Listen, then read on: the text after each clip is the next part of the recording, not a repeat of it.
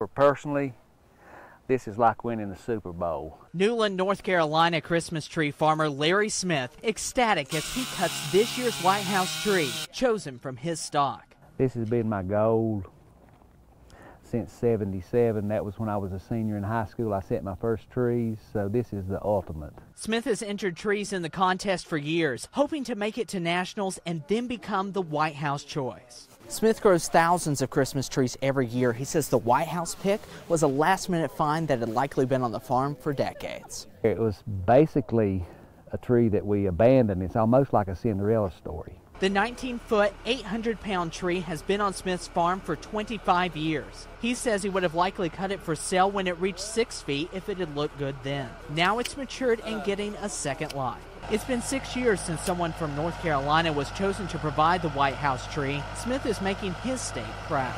There's not many times you get the opportunity to take the whole state of North Carolina on your shoulders and come back number one. Now that he's reached his life goal, Smith is setting a new one to send a piece of the tree to the International Space Station. He's on cloud nine and excited the whole family gets to go to Washington. If my grandkids